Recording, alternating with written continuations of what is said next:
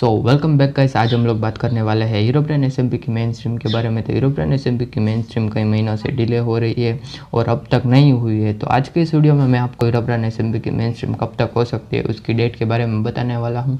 तो वीडियो को एंड तक ज़रूर देखना और चैनल पर न्यू हो तो चैनल को ज़रूर से सब्सक्राइब कर देना। और आपको क्या लगता है यूरोपियन एस की मेन स्ट्रीम कब तक में हो सकती है? कॉमेंट में ज़रूर बताना।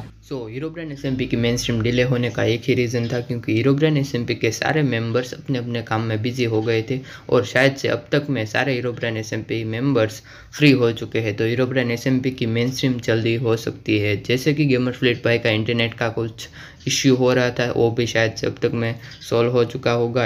एंड्रो बिक्सू के एग्ज़ाम्स भी शायद से ख़त्म हो चुके होंगे। और और टेक्नो गेमर्स ने जो थर्टी डेज़ का चैलेंज लिया था, वो भी मार्च के एंड में ख़त्म हो जाएगा। तो हीरो ब्रांड एस की मेन स्ट्रीम शायद से अप्रैल में कन्फर्म हो सकती है। सो आप लोगों को लग रहा होगा कि मैं ऐसा क्यों कह रहा हूँ? क्योंकि हीरो ब्रांड एस की main stream twelfth of February को होने वाली थी, लेकिन उसके बाद कुछ ना कुछ रीजंस की वजह से हीरोब्रेन एस की मेन स्ट्रीम डिले होती गई।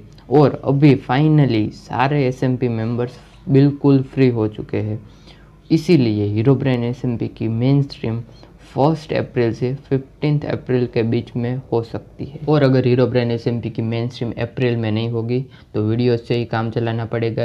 हीरो ब्रेन एस की वीडियो आ सकती है। और आपको ये वाली वीडियो कैसी लगी, वो भी कमेंट में ज़रूर बताना। मिलते हैं नेक्स्ट वीडियो में, तब तक के लिए टेक केयर बाय बाय